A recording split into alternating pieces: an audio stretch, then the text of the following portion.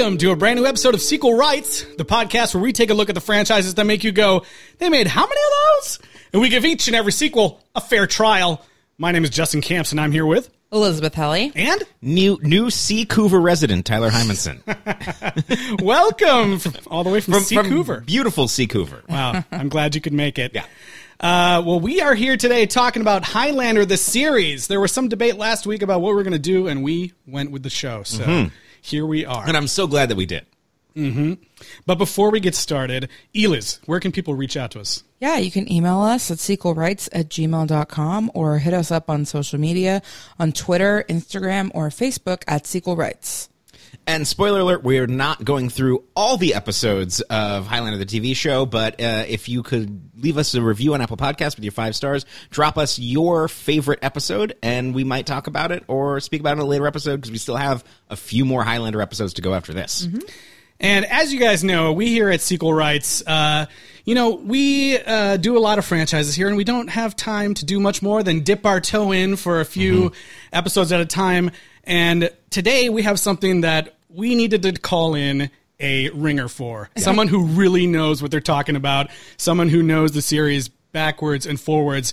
We have one of the rewatchers himself here, Kyle Garabedian from uh, Highlander Rewatched, is here with us. Hey everyone, how's it going? Man, no pressure. I guess uh, I, I better know my stuff or I'm in trouble. I mean, we, I gotta say, we, we, we, we just did last week Highlander 3, The Final Dimension.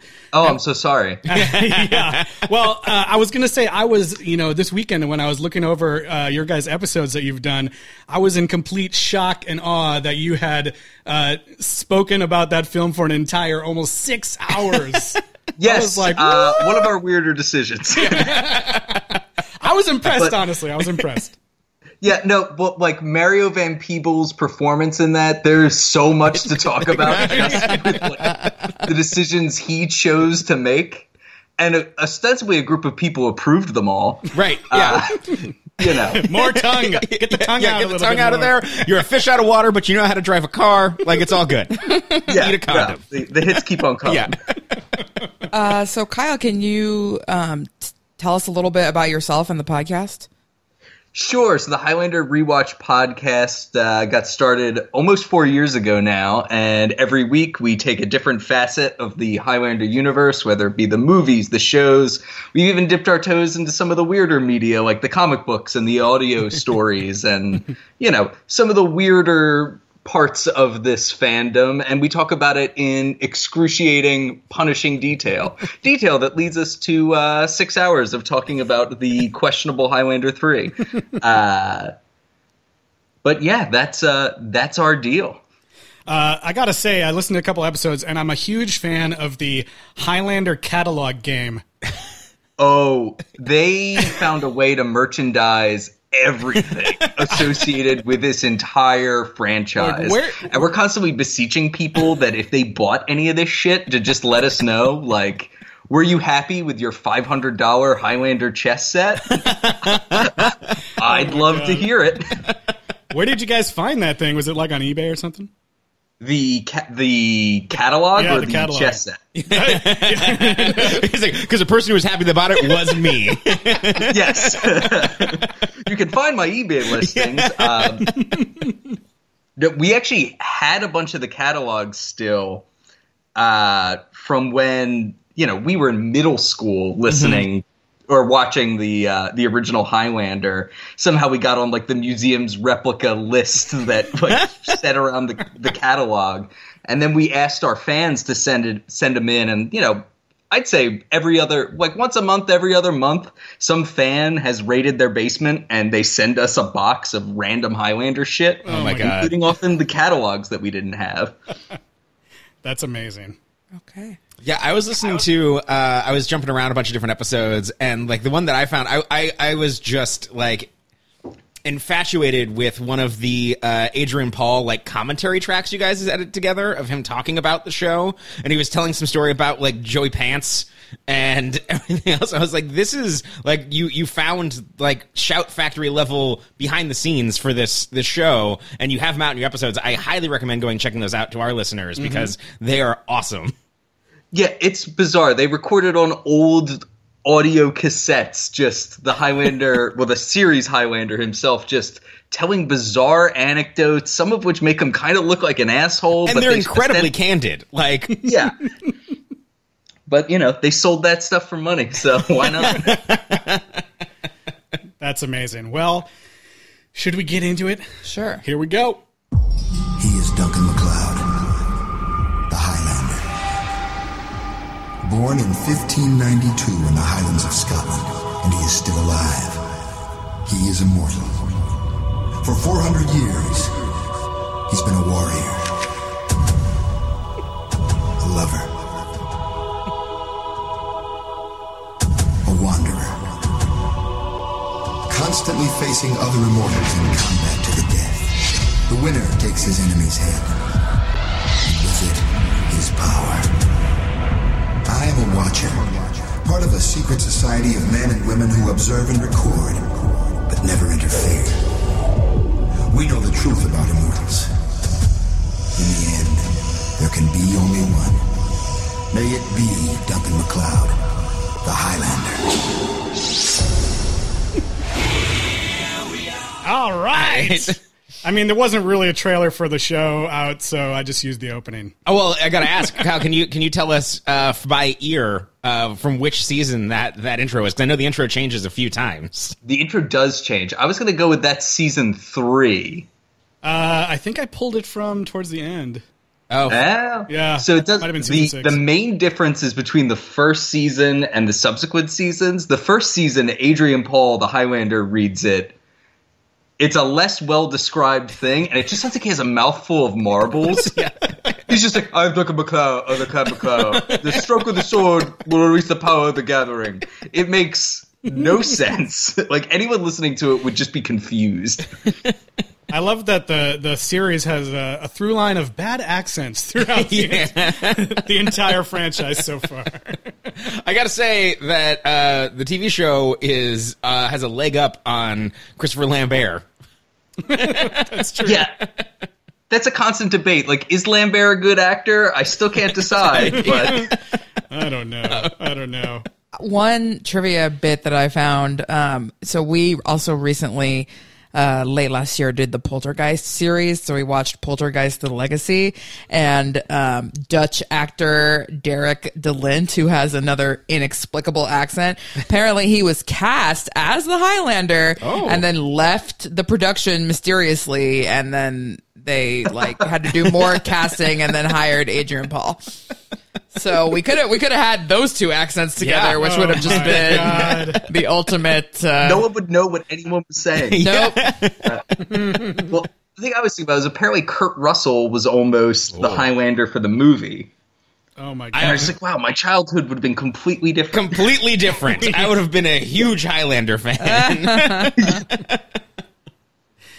Oh man, I love that this show too. Like, uh, we're probably gonna poke fun at it a little bit as we go here, but Yeah. it has like a leg up on all the competition immediately by getting to have Queen as their like Yes. theme song. Like, not very many shows get to just pull that out.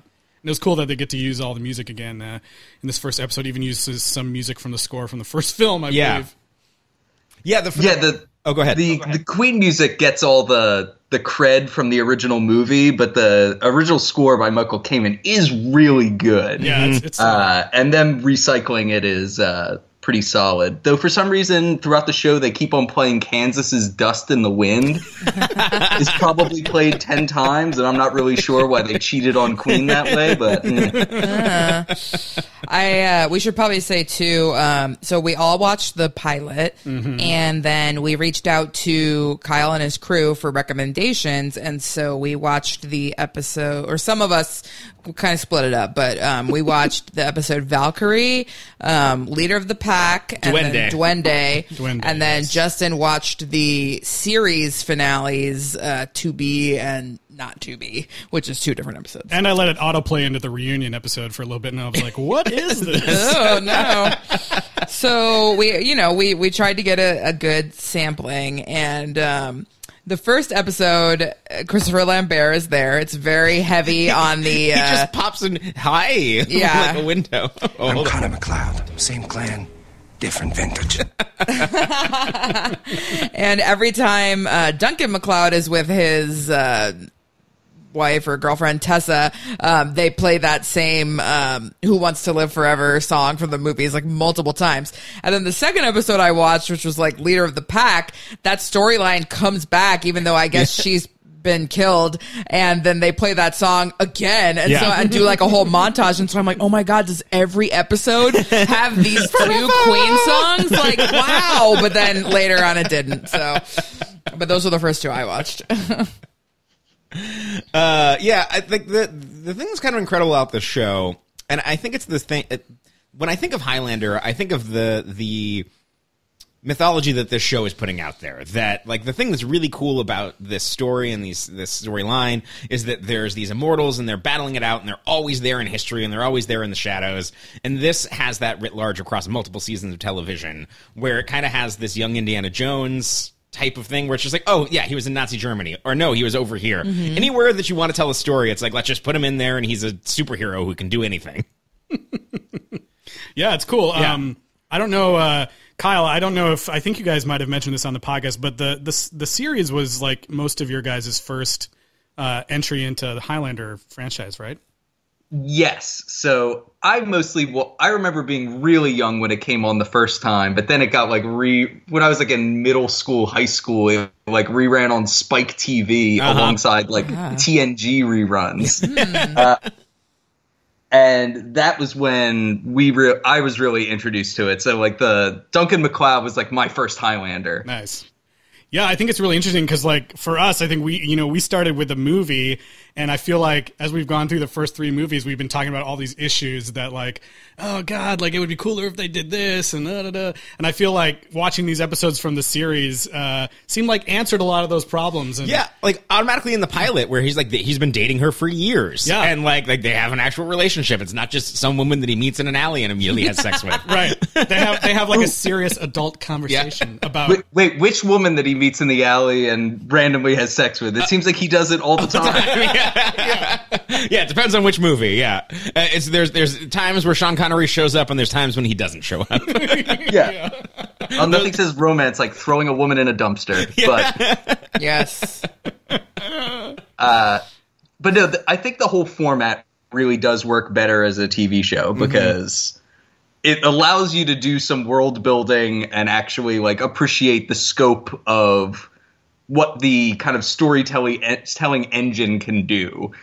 You know, if like in the the second Highlander movie, there's basically no flashbacks mm-hmm. right.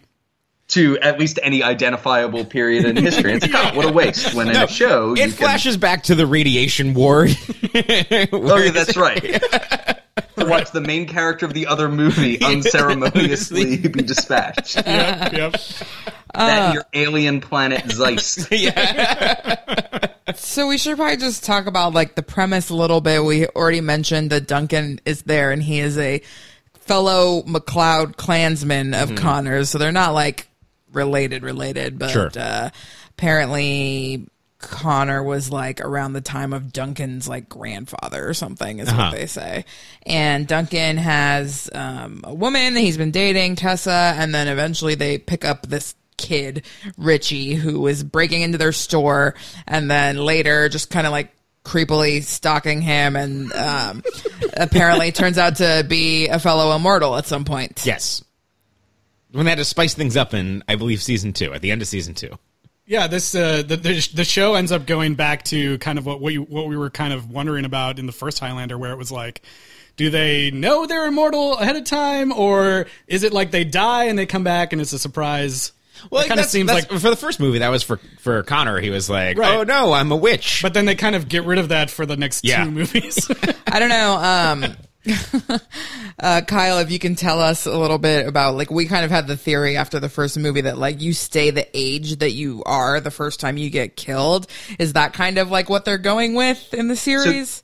That is how the the series chooses to define it. So if you die an unnatural death at any point, uh, you are then frozen at that age in your immortality. So they play with that idea a few times. Like there's actually an episode, I believe it's called The Lamb, where there's an immortal who's ancient, but he looks like he's nine. Oh, that sucks. Yeah, and he's like a real horny creep, which is strange. it makes for a, That's must yeah, TV. it really it really messes it messes with you. Yikes. Uh, Okay, so I mean, um, I obviously we're spoiling the whole series because we read things here and there, but um, I guess Richie dies at some point, and so is that because this actor was just obviously looking so much older every season? oh, like you mean at the end of the show? Um, no, he dies like partway through, I think. Okay, because like so the character is dispatched at some point toward the end of uh well the, at the end of season five we we lose Okay. we lose Richie very unceremoniously and in a way that like a lot of fans stop watching at that point and they Oh. are not wrong. yeah, yeah, that Dunk- seems like it'd be bad. Duncan kills him, right? Yeah, spoily, but yeah. yeah. He, uh, so just to set the stage, the the final episodes of season five through season six like really jumped the shark really hard. So all of a sudden, like Highlander three, Highlander two level of jumping the shark, like all of a sudden an ancient like Sumerian demon appears and causes Duncan to have hallucinations. it's all very bad. Okay, But- what is the dark quickening? We saw this referenced on Wikipedia and elsewhere. So, as you see in the movies and you see in this, when uh, an immortal kills another immortal, there's like the big lightning storm Sure. and they absorb their power. They play with this idea uh, in the show that if you kill so many um, evil immortals, like all that that bad vibe, the all the like bad energy that you absorb from them, eventually overwhelms you Ah, interesting. uh, and like corrupts your personality. Uh, and like everything in Highlander, it's not subtle. Right. Do his So eyes like turn black? Duncan gets into a fight with a boat, like while under the effect of this dark quickening. Like at some point, Duncan gets into an argument with a boat captain, and his response to this is to savagely beat him and then try to seduce his wife. So you know, Highlander. Yeah. wow. Take so that, there's- boat captain. Yeah, right. like you don't mess with Sailor Duncan. Uh, so that is the the dark quickening. I don't. Th- we don't get uh, much of that in the episodes that we saw, but Yeah. uh, there's some good stuff in there. So yeah, let's uh, kind of hit those episodes. I mean, we kind of already Sure. talked about the pilot. Um, I, I, is it? Is it? Are all the other immortals? Do they all have antique shops, or is that just a MacLeod thing? Because it seems like that they have the same profession. So It makes sense. yeah, it does. my understanding of this one is that they were not sure as of you know right before they started shooting whether or not Christopher Lambert was gonna sign on to do the pilot. Okay. Uh. And it's my understanding that their plan was that if he didn't do it, that the character of Duncan was just going to be Connor. Okay. Oh. Hmm. So you'd be like, it'd be obviously a different version of the character, but Uh-huh. you'd be following the same person. Just a, a quick recast. yeah. Yeah, but that's but that's part of the reason why it's so identical. Right. and also, in a lot of ways, it makes so much more sense because you know, ostensibly, we saw the ending of this thing in the first movie. right. Yeah. Like, Right. you know, on the podcast, we try to take each episode or each media, even though we've seen it all before, mm-hmm. as though we're seeing it for the first time. Like you're a fan, you see this. What do what do you assume is happening? Mm.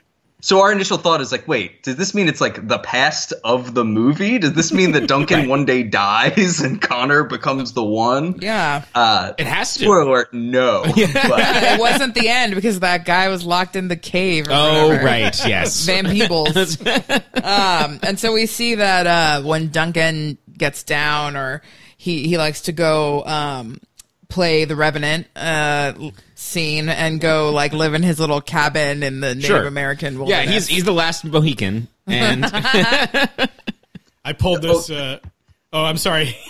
Oh no, they like flash back to like Duncan in that mode frequently, like okay. frequently to the point where it's like ah. But was like the producer's like he kind of looks like Daniel Day Lewis when he looks like that, so maybe we should just roll with it. Yeah, I think that's honestly what they did. yeah. All right. I pulled this. Uh, the, the, one of the first flashbacks we see, uh, Connor like reminds uh, reminds uh, Duncan that he's you know Part of the game? tried to get out of the game in the past, and he's like he's like, damn it, damn it, Connor, that wasn't my fault. And then he he has this great, really sad scene. Do the names of our grasses.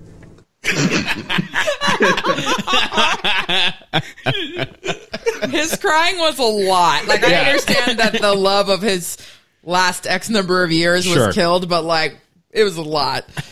And no one else could name the grasses like her. I know she knew all the names, you guys. Yeah. And It's This is the first thing he says. She knew all the names of the grasses.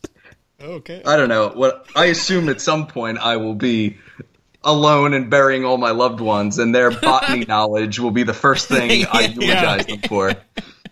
No, they'll be like, he, he knew all the names of the Highlander episodes. Well, I'm embarrassed enough about that when I'm alive.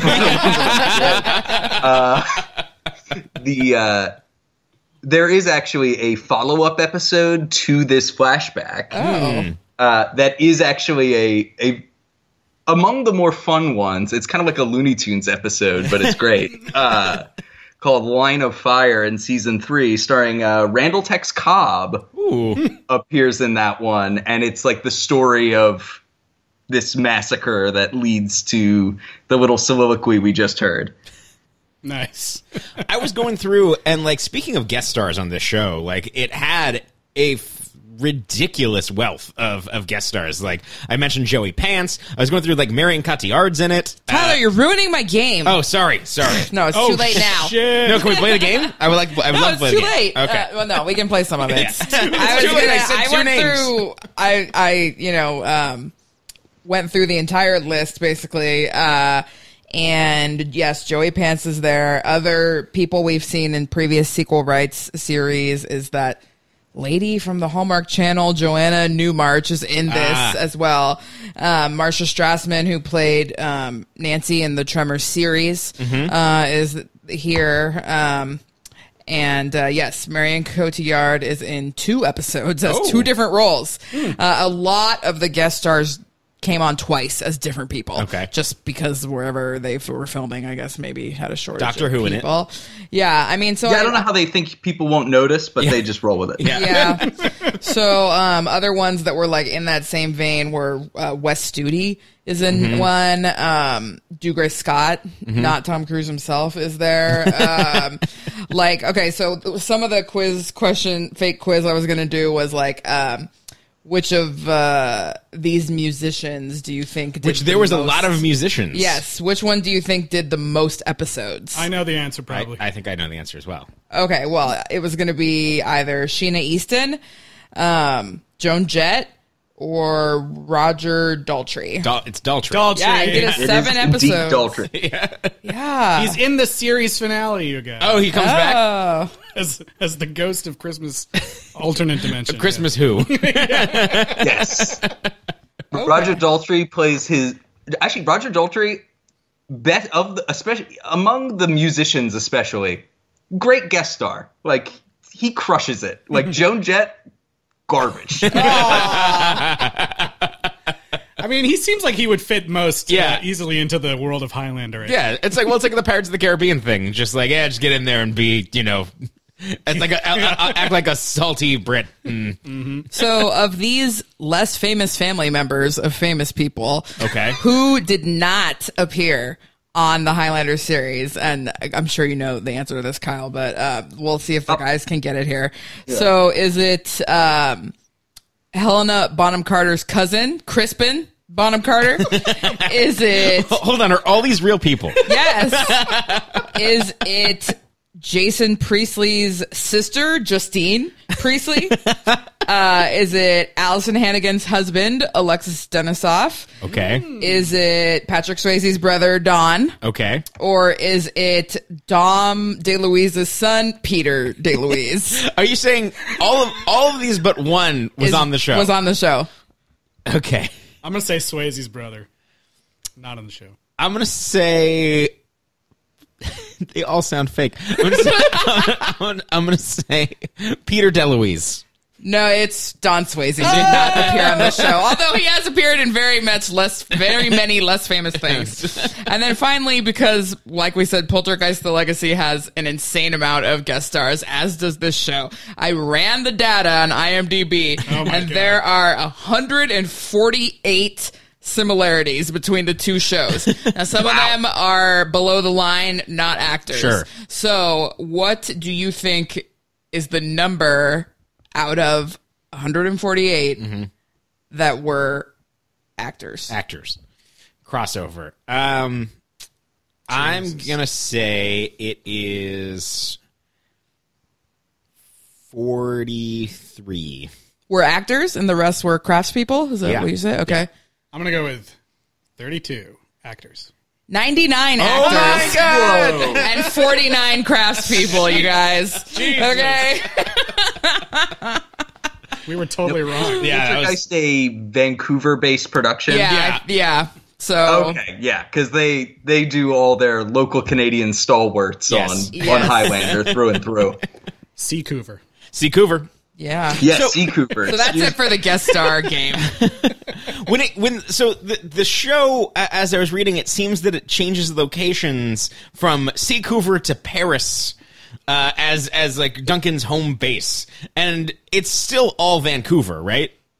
So no, actually. Oh. the, the Paris episodes are actually filmed in Paris, and as a result, like they look way better. Like, no shade to Vancouver, but like the locations they scout in France are outrageous. Yeah, I was Like, pretty sure that the boat in, in behind Notre Dame was real. I was like, that's you know, I stood there. That's like actually the spot. I think That's crazy. yeah. Yeah, the uh, the producers talk like endlessly about like what a pain in the ass it was to film in France and like all the bullshit they had to deal with to shoot in all these locations, but it's so worth it. Like they managed to find like an abandoned submarine base in France that they film in. They film in all these like beautiful opera houses and like gothic cathedrals, and then like you get back to Vancouver and it's like, and here is the sixth dock you'll see in this season. I did like uh, so the way I watched it. I, I uh, just because I thought it would be more fun. I watched the pilot episode and then skipped directly to the end. and I was Ooh, like, the first thing. move. Yeah, I know. I was just like, I want to be confused. so the first Wish thing granted. I was like, the first thing I noticed was like, wow, his antiques business must have failed. He's living on a boat now. Also, they both begin. Uh, the the series begins, and then the last two episodes begin with the sex scene. yes. Yeah. I, yeah, I will say, like, I can't imagine what network this was on for the amount of side boob that happens. Yeah. However, like, the, as as much as that's just part of Highlander, that that you know he's just gonna there's there's a love of the week, there's an immortal of the week, whatever it is. Adrian Paul is topless just as much. You get, you Oh. get Yeah. if not more. so apparently they thought like, oh, well, who's gonna watch this show? Like, oh, like eighteen to twenty four year old dudes who like want to see sword fighting, and they were like, nope, it is thirty five to fifty year old librarians. Yep. Well, he looks. Spoiler alert: My mom was a librarian. Huge crush on Adrian Paul. I mean, he looks like the guy straight off like a romance novel. Cover. does. yeah, and I don't. I'm not sure which of which episode it was, but one of the ones we watched, we have a extensive tidy whitey's Oh, yeah. situation in which like the flap was quite loose. I don't know. Like I was like, what is happening? And then he's at some point he's in a sauna, and instead of like just wrapping the towel around his waist like a normal person, he like rolls it into a little diaper. Like, I think that was Duende. that No, was it was duende. Duende. I took I took a photo because the quote is amazing. It's it's uh uh is talking with his his immortal villain of the week. Consone. Or whatever. Consone. Yeah. And uh, they're sitting in the sauna together, and Consone is like, if I had another year, I'd make you a, I'd make a real swordsman out of you. and they're both just standing in their underwear in the sauna. and that really hit home for the librarian audience. This Oh yeah, that was that was straight for the uh, for the lonely moms out there. This episode has a lot of people like speaking Spanish and stuff, and I was watching it on Amazon Prime with the Yeah. subtitles on, and every time they would say something in Spanish, the subtitle just says "speaking Spanish." Yeah. I was like, "Wait, isn't the point of subtitles to show me the translation?" Like, what the Oh man. Um. So you you guys mentioned that Duende is typically like a fan favorite. Um. I I was gonna ask you like why do you think that it's their favorite? So most so the Highlander attracts a lot of people for a lot of different reasons. One flavor of Highlander fan is really into the the sword work and things Ah, like that. okay. And people go bananas over that the very unique sword fighting style that's Okay. displayed in this episode, which I'm going to screw up the name probably. I think it's called like the Destreza or something like that. Uh huh. And apparently, this episode was the first time it was ever put on film. Whoa. Okay. So that's real. Actually, the guy who's the villain of the week in that, Anthony DeLongis, who actually was the villain of the week previously as a completely different character. and they were just like, yeah, no one will give a shit. Yeah. Uh, he kind of came to them and was like, I've learned how to do this thing. Like, we should structure an episode around this. And like managed to pitch them on this kind of like weird telenovela episode Yeah. in which you know you have a climactic fight where people fight with like a rapier and a knife in a small circle is kind of how the uh, the fighting style Well, it definitely visually was a lot more exciting than some of the like really boring broadsword fighting that we complained about in the first uh, Highlander movie. Movie. Yeah. Yeah. Yeah, um, yeah, it was definitely like quick and exciting. My favorite thing about this is that this is the last episode I watched uh, preparing for this episode, and so I was watching it literally on my train ride uh, home from work, and I, I didn't get to finish the last five minutes. So last I left them, they were fighting in the rain. They had gone. They started fighting in the daytime, and it's now become night, and they're fighting in the rain. And I'd like to think that they're still fighting. Yeah, actually, Duncan lost. That's the final episode. Of the whole show, so yeah. that's it. Uh, spoiler alert. Although they do bring up kind of like a an interesting thought exercise about like what if this dude was so vindictive that he waited until you were old and then tried to sleep with your daughter. Right. You know, like that Yeah. that's like pretty That's so- gross. that's and- so messed up. yeah. He goes on the yeah he goes on the whole gross diatribe. He's like, if you have a daughter, I will seduce the daughter. It's like, Okay. uh, yeah, it's a little over the top, Yeah. but that's also part of the the deal with Highlander. Yeah, Yes. and and the specific over dramatic telenovela, telenovela flavor of Duende with the uh, Battleship Potemkin moments of twice of apples and roses being thrown down the stairs. Yes. Very dramatically in slow motion. Lots of so- flamenco dancing. yes, So I don't know. Is there anything oh. else? Oh, go ahead. Oh, the villain in that episode, Octavio Consone, is played by Anthony DeLongis, is the guy's name. He's a super cool dude. Uh, he is also a master of the whip. He, I'm pretty sure, was the whip consultant on like whatever the the latest shitty Indiana Jones movie was. Oh. Wow. and uh, at like he will appear at like nerd conventions and teach like a whip class. Oh, yeah, yeah. Somewhere on Facebook, there's like a, a video of him whipping a pen out of my hand. It's, oh my god, that's incredible! What? uh, yeah. Anyway, he's Wow. a cool dude. He was, he was also in like season four of Arrested Development or season five as a member of the Romney family. Oh, God. That's amazing. Oh, the the Mexican Romneys. Yeah, Oh, yeah, yes. of the Mexican Oh, Romney. got it. right, got yes, it. Yes. right. Okay, that makes sense. Wow, that's amazing. Um, Yeah, so he's a cool dude. so is there anything else we want to say about Duende? Uh, oh, the other thing I say is the the director on this episode I think is one of the better ones. Also, the director on Valkyrie, another episode you watched. Uh, it's directed by Richard Martin, who is the son of comedian Dick Martin. Oh, Okay. Uh, so kind of like from a famous family. Uh, also a cool dude, but his probably biggest IMDb credit was uh, directing Airbud 2. Airbud Two. That's Golden Retriever for the people at home. oh boy, that's coming or to a Golden se- Receiver, excuse me. I screwed up the pun. Oh, my God. that The football one. coming to a sequel rights block of episodes near you. I'm, I'm sure we'll get I'm sure that. it's happening. Um, so yeah, Valkyrie uh, is the other one that we watched, and you guys had recommended this one because you said it was more philosophical in tone for the show. I have one more Duende question before we jump into Valkyrie. Sorry. How many episodes is like per season? Do you think do we meet one of Duncan's immortal loves that he could that he could never live I without? mean, mortal. Yeah, I, I mean, like people that he's just like, oh, I'm so affected by this. Like I was Oh. so in love with her, and then it's just like, eh, like yeah, now she's done. Like we'll never hear from her again in that episode. Like after this Oh, episode, it's like pretty constant. I mean, probably a third of every episode, uh, like a third of all episodes, it'll come up. There'll be some like mortal or immortal lover, uh, which drove fans nuts apparently at the time. Uh, which is funny because they send us like really weird emails now, but a lot of them are like 60 and like send hilarious, uh, typo ridden bizarre emails. It's like I've had an opinion about this for 20 years, and now's my time. yeah, the, Tessa was the best, and what's he doing with these floozies? They don't deserve Duncan. Also, the episode after Tess dies, he has sex with Sheena Easton, so Oh my they were pretty god! righteously furious about this, I guess. Oh my god! Right after. Oh yeah, like immediately after. Aww. Does, do they meet in an alley? Uh, actually, on a dock. It's basically the same. It's, a, it's the Highlander way. Healthy girl. Oh no,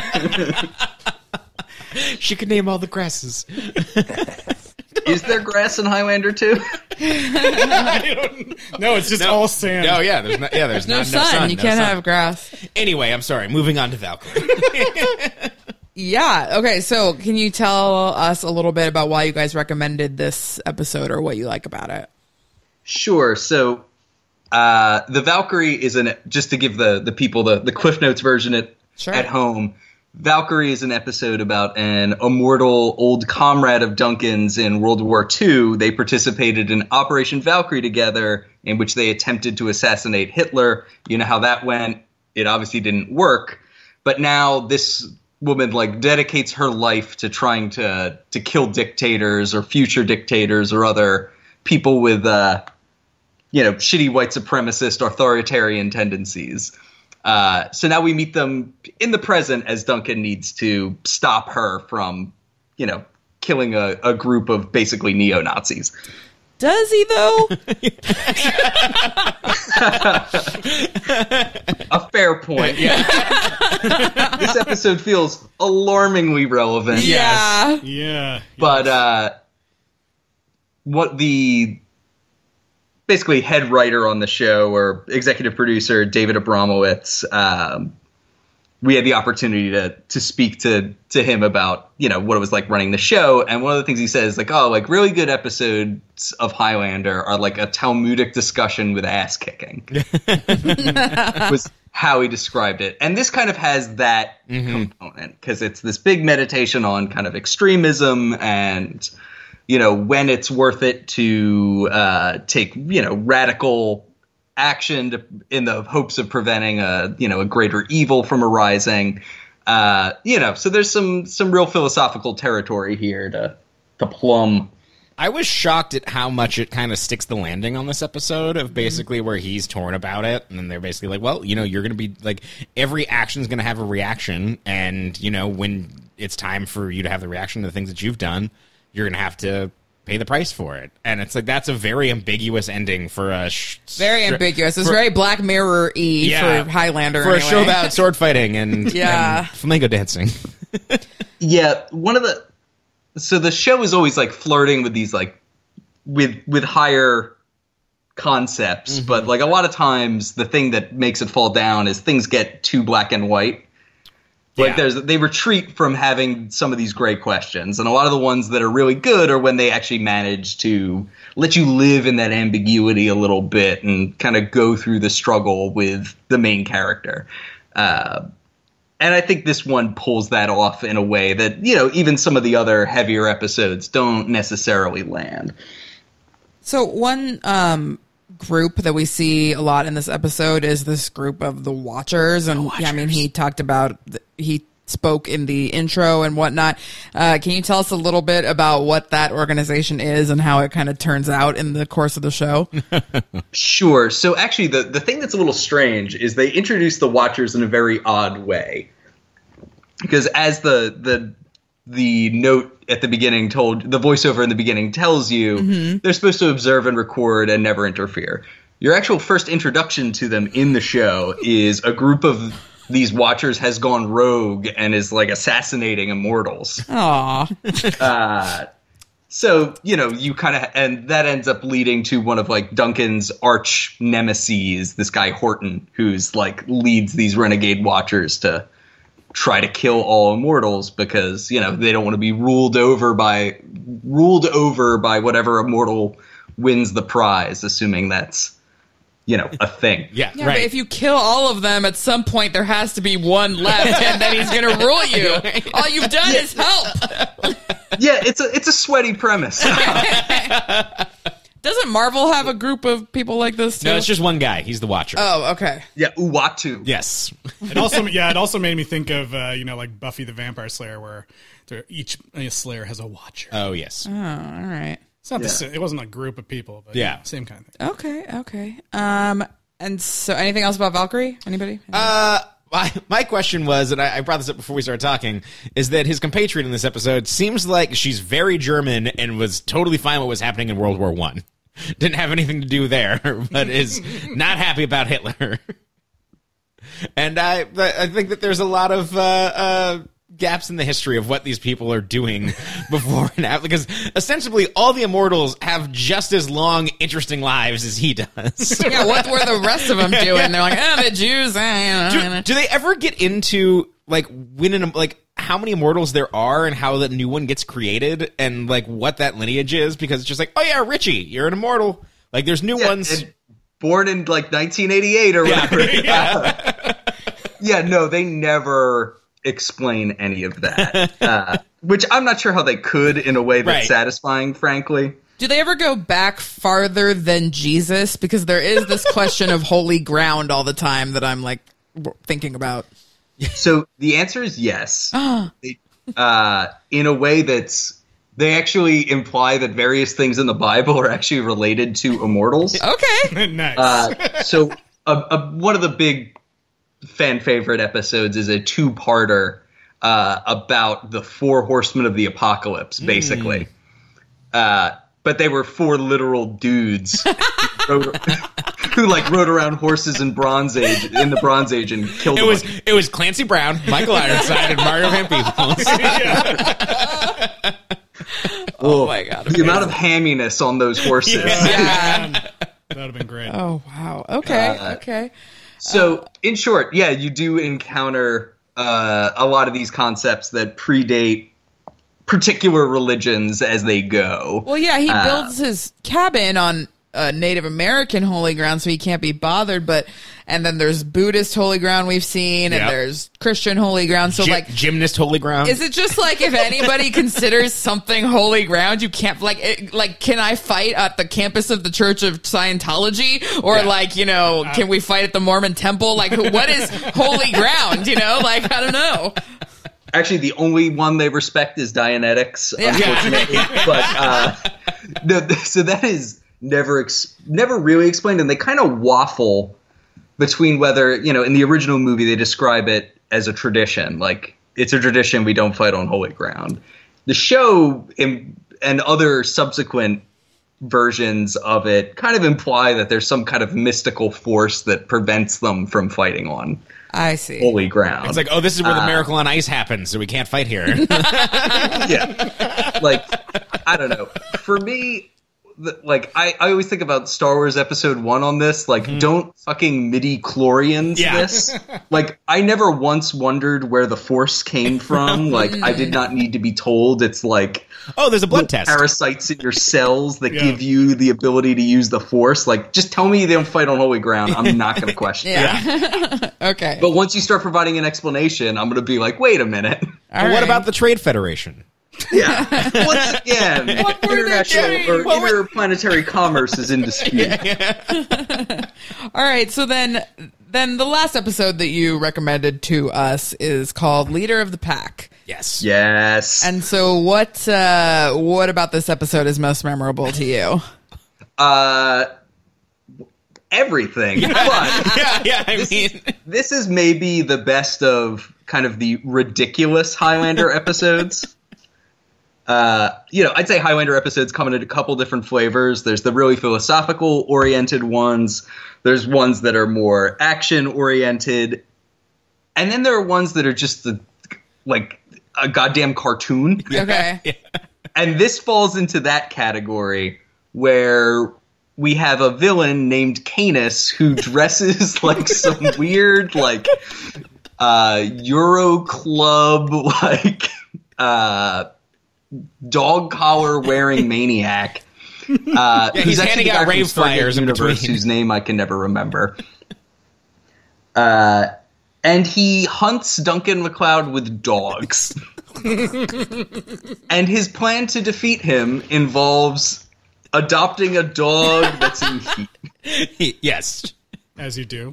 And it's just amazing. Like, and the fact that they could get some of the, like, everyone committed to this bit 100%, uh, it leading to lines like a loud sniff, this bitch is in heat. Uh, it's just amazing. And then the funniest thing about it is that it's juxtaposed with, as was mentioned earlier, Yes. a callback to like one of the most serious like plot elements in the whole show when Tess is murdered. Yeah. So like you have this bananas dog hunting plot juxtaposed against like the love of my life's murderer needs to be brought to justice. Yeah, like where he fights a Mega Man villain who's just like, yeah, it's the dog guy. He's the dog one. Like that's the one that you have to get. Dog man. Ooh, who does Dog Man kill? Yeah, yeah. I need to get ice, then dog, then fire. Um, Oh, maybe the Gathering really all is all just a Mega Man vehicle. yeah. I'd never thought about that. I did like that once he killed the dog guy, then he had the dogs. And he was like, Yeah. Yeah, I'm gonna give them up for adoption. I was like, No, keep them, they're cool. But no. I'm gonna I'm gonna give it back to that woman who he really creepily threatened. Yes. Yeah, With yeah. her blind son. he just wanted to fish. Yeah. This is also like this. Is this the only episode that we see him doing his like best Doctor Jones teaching at this college, or is that a plot line that continues? Uh, they only do it like in three or four episodes. uh, it doesn't really make a lot of sense, but the uh, doc, like also. Am I the only one who's like he's totally gonna get kicked out of this university because he's gonna try to bang a student? yes, Oh, oh yeah. oh, no, Yeah. for sure. Like a thousand percent. I mean, I did love the the one off joke where they offered him the faculty life insurance. and he's like, "No, I'm not going to be there. I did love like he took all them out. He's like, oh hey everybody, let's take all this armor and fight in the field. And they carry this whole heavy trunk out, and then he just leaves it with them so he can run off into the forest and chase Oh a dog. a dog. Yeah. that's that's literally what they saw. Yeah. Uh, so yeah, this this episode is worth it just because it's so weird and kind of fun. Uh, but you kind of got to be in the right mindset for it. Like seeing this episode next to Valkyrie is, is legitimately shocking. What's the so I have a question of like what's the deal with the house that he's remodeling at this point? point and then when he gets quickened after killing Canis goes full poltergeist and pulls the house out of Oh, the yeah. foundations. yeah, so the producers apologized for that left and right.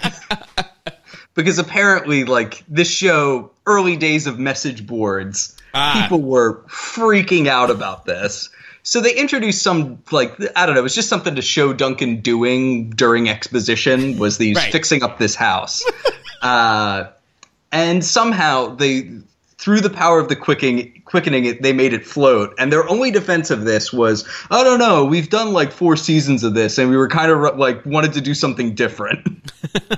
That was their only justification for why cutting off this guy's head made a house fly.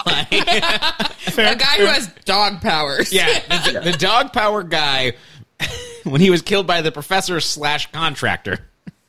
well, yeah. I mean, we, we, we didn't talk about the giant explosion at the end of Duende, but Yeah. that quickening makes uh, fire come out of uh, some trees. Yeah, So, the don't- fire came directly out of the tree. I loved that. like it's clearly being shot out of these A cannon trees. in a Yeah. tree. Yeah. that was great. Oh man. Do they? Does the show ever make any reference to Ramirez or anything else like that, or or uh, the who's the wizard in the sorcerer? in Nakano? Three? Yeah, Nakano. So the show ignores everything but the first movie, mm-hmm. and in some ways, up through a, a period in like the second season, it's possible that, with the exception of Connor's existence, they were disregarding even the first movie. but at some point, like they reference the Kurgan, they reference the fact that Connor killed him. Okay. So that's kind of the continuity that they set up. They do reference Ramirez several times throughout it. I mean, obviously, they don't have the budget to uh, even show a photo of Sean Connery, but uh, you know they'll meet, pa- they, they'll encounter people who have apparently met Ramirez, Right. or you know, it's just like a little throwaway Easter egg for the fans for the most part. But Yeah. uh, basically you can assume that the first movie happened and everything else is bullshit. Uh, well, I'm curious. I think I'm the only one who watched the uh, TV movie at the end of this uh, series called "To Be and Not to Be." Uh huh. Ruh-roh. I know. well, I'm I'm curious, uh, Kyle. So, did you see that when it was like actually aired on TV, like in real time? I don't think I saw that in real time. I think Oh, I would have seen that like five years later, like when it was on in syndication. Oh, okay, because I'm just like curious if people saw that and they were like, "What the fuck?" so the it's worth no. So the sixth season, the, this the show was renewed very late, Mm-hmm. and they only got a half season. So they got like 13 episodes in the sixth season, and the entire sixth season is just nonstop. What the fuck is this? like just top to bottom. Like it starts with, I, as I alluded earlier, Duncan has to stop some kind of weird Sumerian demon. Uh, for reasons I don't know. We actually just reviewed those episodes and we still have no idea what happened. Uh, and then like the rest of season six is essentially a series of soft pilots where they're like trying to finagle a spin-off in some way. And they're all terrible. so like at that point, like the fans would have accepted anything. yeah, for sure. you just you know film a moldy tuna sandwich and they're like oh great yeah this is it this is what we've come to expect I know. I did like that. It tried to be kind of like. Uh, you know, the the very end of it, it like goes to commercial, and then the final scene is like a clip show, basically. But oh yeah The- to the to the So- Bonnie Portmore song. Oh god. Oh God. yeah. my favorite anecdote about how this was supposed to end uh so the the uh David Panzer is kind of the was the producer who like really was involved in this thing that his production company I believe uh, still owns the IP to this whole thing. Uh and was involved in most of the big creative decisions. His idea for how this should end is that all the main characters should be standing around, clink their cham- like clink champagne glasses together, then look at the camera and say, "Cheers for five years." Which is amazing because there are six seasons. Oh my god! and wow. everyone involved was like, "We are absolutely not filming that." like on no planet. Oh wow. The uh, uh, yeah. Oh my god. I gotta admit, I kind of want to see it. yeah, yeah. It's like yeah, so it's you know, so at least they didn't do that. Yeah. What they did not end on is like super weird though. I mean, it's like so first of all, the, the the thing that you know, he's fighting this guy named Liam O'Rourke, and at the end of it I was like, Oh man, I should look up and see what his backstory was. and it was like, Oh, he's only in these two episodes. Great. It's like you remember when Lost ended and they just turned to the camera and said, "Thanks, ABC." Yeah. But uh, yeah, the whole thing is Roger Daltrey's character showing him through a, a world where Duncan doesn't exist.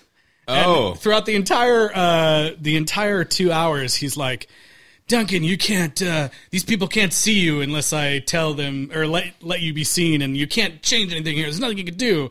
And, Is uh, Richie still alive? yeah, he, yeah. They show they show what happens to him. Um, but Tessa it comes back. Okay. And, uh, he immediately is like, she, she comes back and she has kids and she's married with a husband, and he immediately is like. I gotta have sex with her.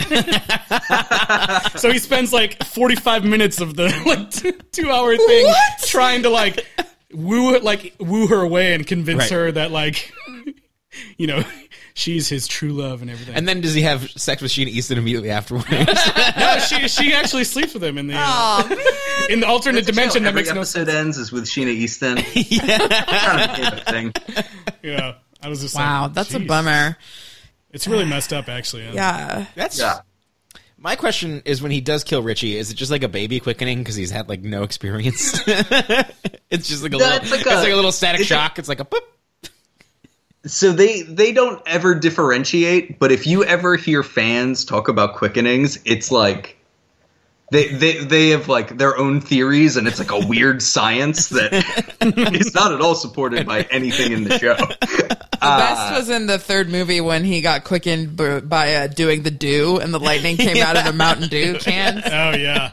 Well, they Always, I mean, that's what happens when I drink Mountain Yeah, Dew. Yeah, that's true. That's true. I need my gamer fuel. Yeah. they always say that like uh, you chop off the head and you're gonna get the powers of that person. sure. But Power of illusion. it's not. Yeah, I guess that that one happens. But does it happen in the show where it's like? Well, yeah, he got the oh. dog powers. Oh, that's right. Yeah. You get Slan Quince's sweet mask powers. Yeah, like is is dog powers just called owning dogs? Yeah. no, those dogs will only listen to him. Apparently, I guess, I guess don't Richie know. would give thief powers. I don't know. Yeah. yeah. Yeah. So there, there's actually was a lot of debate apparently in the writers' room on that issue because they're always very coy about what exactly you get in like that quickening juice that you absorb.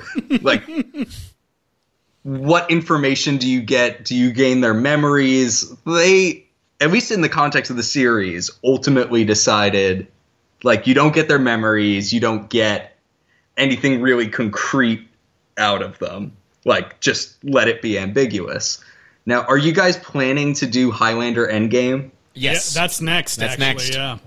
Well, I will just say this. At some point, this concept of like the quickenings you absorb becomes like, I don't know, Dragon Ball Z level, like Yes. intense. Like, yes. what's Yes. his power level? It's over 9,000. like, it's like this whole thing becomes a math problem, and it's very strange. Oh, okay. Well, so we- buckle up for that. I'm Oh, sure that's man. what your uh, listeners are in for. Maths. We are pretty excited about that. Well, do you guys have any any other thoughts on uh, the series before we wrap it up here? I feel like that we have entered into and are now leaving the best parts of this series. You're, you're probably right. All in one day. like I love the idea of like all the historical stuff. Like I, I've you just scrolling through the episode titles, like samurai and all these different things. Like I, I can just see how this show could not write itself, but like that it could be rebooted now and it would be. I mean, I, I guess it's probably just called Outlander, but um, That's that's the number one question I get when I tell people I do a Highlander podcast. They're like, "Oh, I love Outlander." I'm Yeah. like, "It's easier not to correct you at this yeah. point." Jamie's so hot. but like I, I that's kind of why I said I liked. I, I there's some joy I got from three because it had the flashbacks as opposed to two. Of like we could at least see some different things happening. Um, You didn't get a thrill out of the alien world of Zeist. or just just past The, Earth the distant apparently. past. so that was actually a change they made when they re-edited it. Yeah. edited it. The original cut, it's an alien world. Oh my gosh. Yeah. yeah. They made it make more sense, right? I think. Nope. Okay. So, so you guys are still podcasting, but have you gone through all the episodes, or where? What's next for you guys? So we actually just started season six. Oh, Our okay. basic Nice. format is that we'll do a do a season, then we'll cover a movie and bounce back and forth. so it.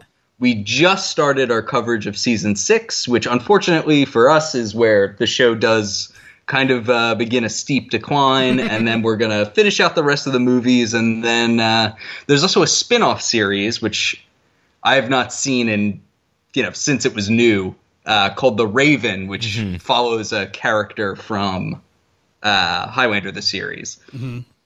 So that's what's next on the horizon for us. It seems like there's not that much Highlander left, but uh, somehow they keep on eking more out of this, and I don't know how. And where can people find that podcast and follow the podcast and you on social media? Sure. So we're available wherever uh, you get your podcast. You can also find us on uh, Facebook. Uh, just search for Highlander Rewatched. You'll find us right there. Uh, on Twitter at Highlander Rewatched. And uh, if you want to shoot us an email, we love getting comments and feedback on any of these episodes. We are Highlander Rewatched at gmail.com. We uh, love going through the mailbag, so uh, if any of your fans have any serious Highlander thoughts, we would love to chew through them on air. Wonderful. Yeah, I hope you guys really do uh, check out Highlander Rewatched because if you were at all Yeah. interested in this brief conversation, these guys are diving in deep and the episodes are really funny and fun and uh, they know their stuff. and they have and as you've heard. if you go through the stream there's a lot of stuff that you can jump into like they have supercut episodes mailbag episodes like a lot of fun stuff that i was just kind of clicking around Yeah. um, Yeah, and if uh, you know, I know uh, your podcast isn't exclusively Highlander people, but uh, if you, I would say, if you saw the first Highlander movie and you're like, oh, there's like a really good idea in here somewhere. The series is really where you get to explore it, and like you mm-hmm. just kind of got to take the whole thing for its warts and go from there. I think that's great. yeah Those are wise words. That's the- that's from the re- rewatchers. that's the duende right there That's the duende. yeah, that's that's it. Uh, well, Kyle, thank you so much for being with us uh, this week. Uh, it was really an honor thank- to have you on. yeah thank you for being our guide i don't think we would have made it through to the other end without that we Yeah. probably would have got Our bad- heads cut off? yeah bad quickened and Dark. Yeah, you, you know, you would have you would have picked the weird episodes. You would have thought the uh, the entire show was about dogs. I know, yes. but no, thank you. This was a blast. I uh, appreciate you guys having us on. Yeah, Absolutely. and uh, us on if you have yes, if you have any, um, whoever has questions for us about overall Highlander or sequel rights in general, you can email us at sequelrights at gmail.com.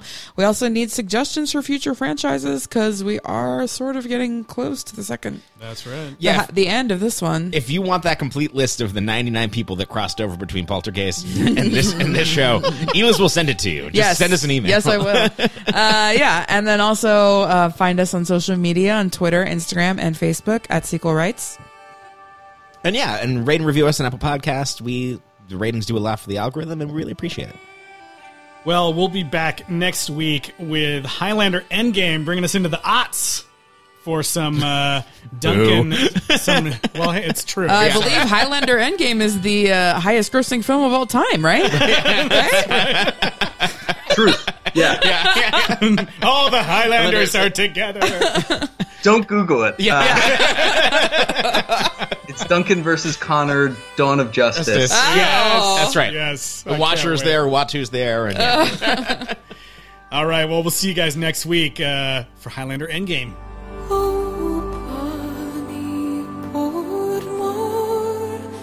I